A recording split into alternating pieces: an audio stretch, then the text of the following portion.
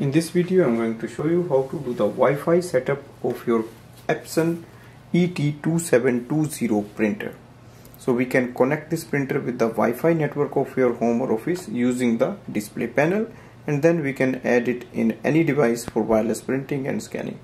So let's go to the printer screen and connect it with the Wi-Fi network. On the printer screen scroll ahead and look for Wi-Fi setup click OK. Click OK Wi-Fi recommended. Click OK to proceed. Wi-Fi setup wizard.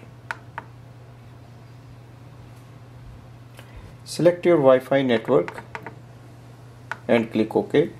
Enter the password using this panel. So once we enter the password it will connect to the Wi-Fi network.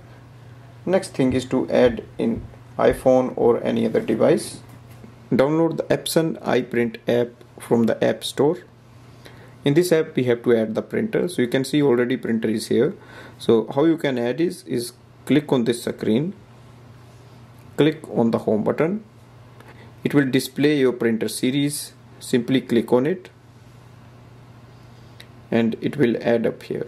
And it will display the estimated level of ink left so it's very easy and we can simply add in any device and then we can start using it for wireless printing and scanning. So this way we can do the wireless setup or Wi-Fi setup of this printer.